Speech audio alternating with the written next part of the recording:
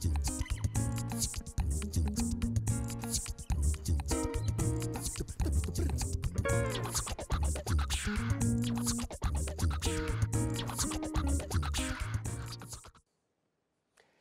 tu per tu ospita questa settimana il consigliere della Lega Davide Moranduzzo, grazie di essere con noi. Grazie a voi. Allora, iniziamo a conoscerla, sappiamo che a Trento lei ha già fatto una trafila politica, consigliere circoscrizionale a Gardolo, consigliere comunale a Trento, poi il balzo in consiglio provinciale lo scorso 21 ottobre. Però, diciamo così, tutto il Trentino, tutta la regione vogliono conoscere chi è Davide Moranduzzo. Allora, come nasce la passione per la politica? Allora, la passione per la politica nasce quando un mio amico mi invitò a partecipare ad una manifestazione a Milano, quando c'era ancora il governo Prodi. Io scesi con lui e mi feci subito in, eh, in, eh, eh, cominciai subito a fare parte di questo gruppo, il gruppo giovani della Lega, quale ovviamente ringrazio e saluto. Da lì decisi di andare avanti, fui candidato alle elezioni della circoscrizione nel 2009, venni eletto, poi dopo in comune nel 2015 e poi nel 2018 in consiglio provinciale. Ecco, qual è stata l'esperienza in consiglio circoscrizionale? È stata un'esperienza interessante? Beh, è stata un'esperienza importantissima. Credo che bisogna fare la gavetta, partire dal basso e arrivare all'alto. Anche perché lì cominci a capire un attimino come si muove la politica e cosa bisogna fare. Le cose più importanti che ho fatto in quegli anni da consigliere circoscrizionale sono i gazebo e soprattutto l'ascoltare le persone, essere una persona all'interno della comunità, essere all'interno delle associazioni, far parte delle associazioni, collaborare assieme alle associazioni e poi ovviamente portare i documenti, le proposte all'interno del Consiglio circoscrizionale.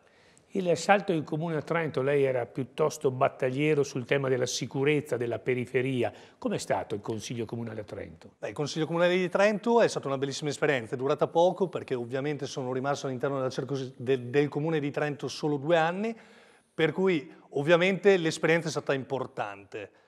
Il Comune e la circoscrizione sono due cose abbastanza diverse, ma comunque l'impegno c'è sempre stato, per cui ho sempre portato avanti l'impegno, ho, sempre partecipato alle varie, alle varie, manifestazioni del territorio, sono sempre stato in mezzo alla gente e ho sempre portato i loro documenti all'interno del Consiglio circoscrizionale prima, del Consiglio comunale dopo e oggi cercherò di portare tutte le loro esigenze all'interno del Consiglio provinciale. Consiglio provinciale, qual è stato l'impatto? Come è stato l'impatto con un'assemblea che è legislativa in questo caso? l'impatto è stato lo stesso impatto che ho avuto in circoscrizione, perché non avevo esperienza prima, è stato lo stesso impatto che ho avuto in consiglio comunale.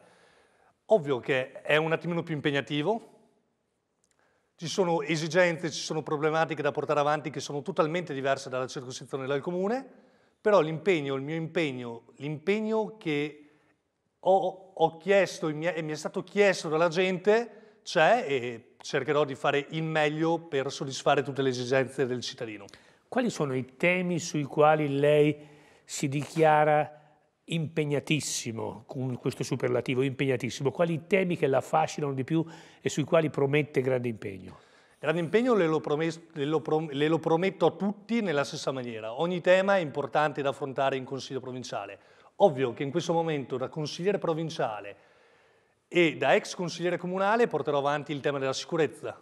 Quello sicuramente è un tema molto importante che bisogna portare avanti. Il cittadino deve girare tranquillamente in tutte le zone della città, in tutte le zone della provincia e deve essere tutelato dal politico e dai consiglieri provinciali che fanno parte del Consiglio. Un segnale in questo campo, in questo settore lo sta dando la Giunta Fugatti che organizza le giunte sul territorio. È un modo questo come accogliere gli elettori alle sette per avvicinare di nuovo le persone alla politica, secondo lei? Sta facendo ciò che non è mai stato fatto da nessun altro Presidente del Consiglio provinciale.